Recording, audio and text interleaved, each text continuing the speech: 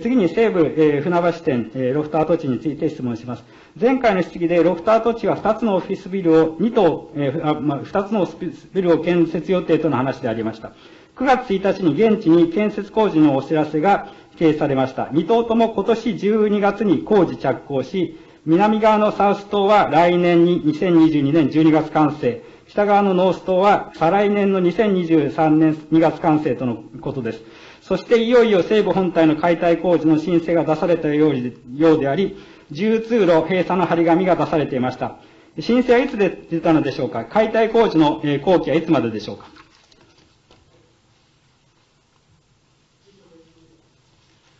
建築部長。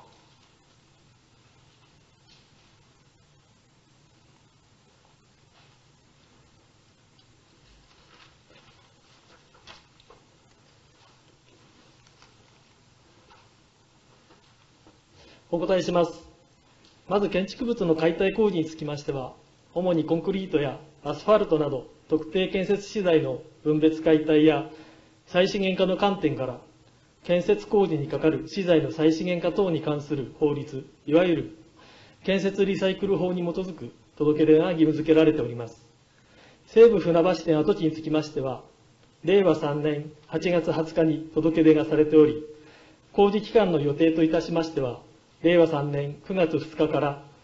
令和6年9月30日と記載されております。以上でございます。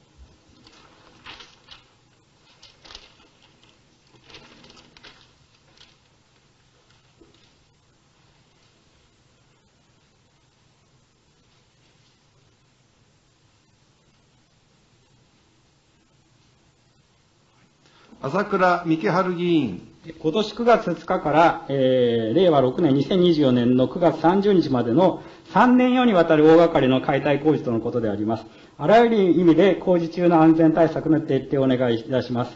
西部跡地本体に接する周辺道路、西部本体側の東側、えー、船橋駅の斜方側に、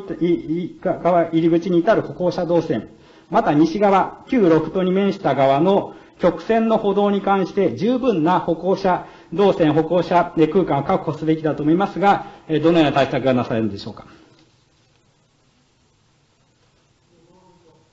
道路部長。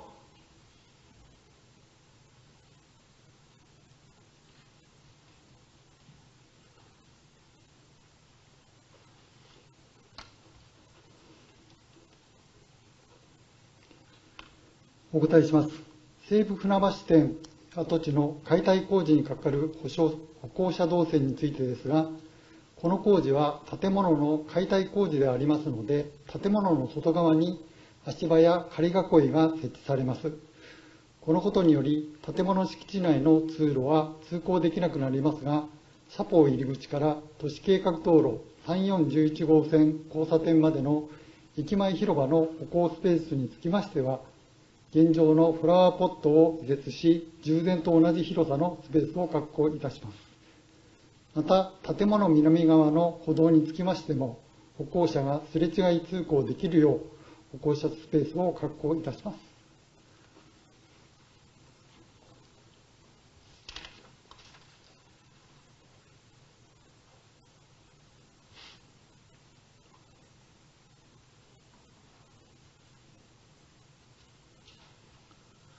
朝倉幹春議員。西部跡地については、前から跡地利用に関して市民の市の公共的な利用に貢献する開発の可能性の協議を続けてほしいと要望しております。解体後の跡地利用に関して相手方から提案は出されているんでしょうかまたどのような話し合いが行われているんでしょうか都市計画部長。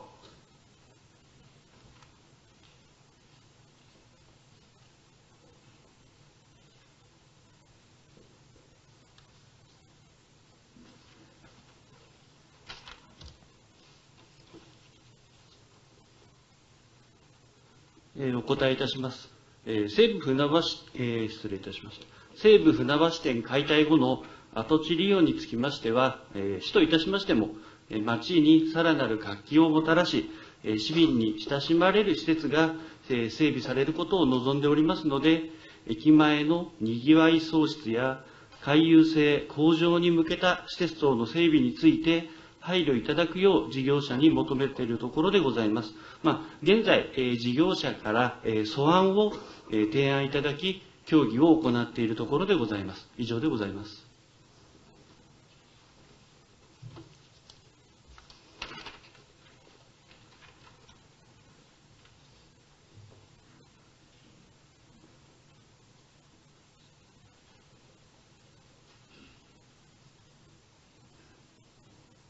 朝倉幹春議員、跡地利用の素案は、現時点ではまだ素案の段階なんで出せないという話でしたので、あの、市に公表できる段階になってきたら、また公表をお願いいたします。